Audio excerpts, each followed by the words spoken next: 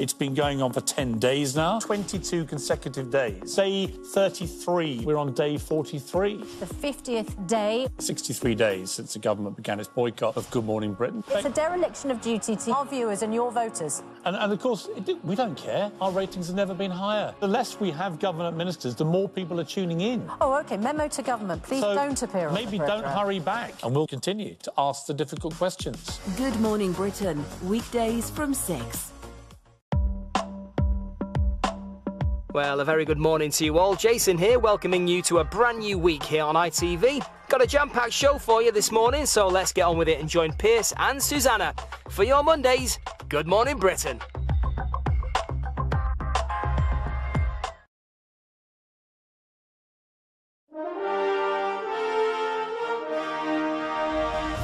Good morning, Britain. The show will go on. A record £1.5 billion has been promised to save theatres, museums, and concert venues. But has the government acted quick enough to stop a cultural catastrophe?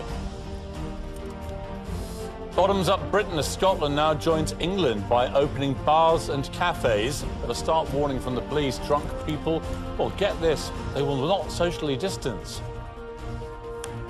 Also, this morning, unearthing Epstein's secrets. What could Ghislaine Maxwell reveal about the convicted sex offender and those he associated with?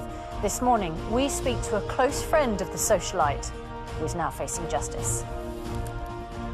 And later, Jools Holland, the legendary musician, will join us to reveal what he thinks of the government's dramatic lifeline for the arts and his lockdown collaborations with some of the world's biggest stars. He's with us live after eight.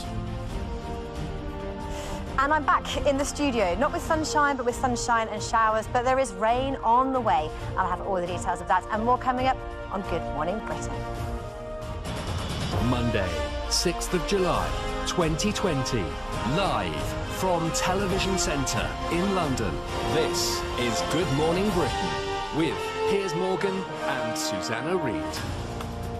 Well, good morning, Britain. It's six o'clock. Welcome to the programme. Well, We have a little- welcome back to the programme. We have a little visitor, Ah, Laura oh, Tobin. How many days away have you been? 98 days. 98. Since I was last in the studio. And not quite such a little visitor as when I was last here.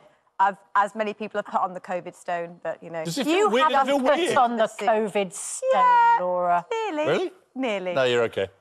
um, how's it been? I mean, weird to be back at work, right, after all this time. We forget about you guys. I mean, it's like half the team has not been here. It's, it's been really, it's been a real privilege to be working from home, be in my kitchen, be there to look after my daughter the second that the show finishes and take over.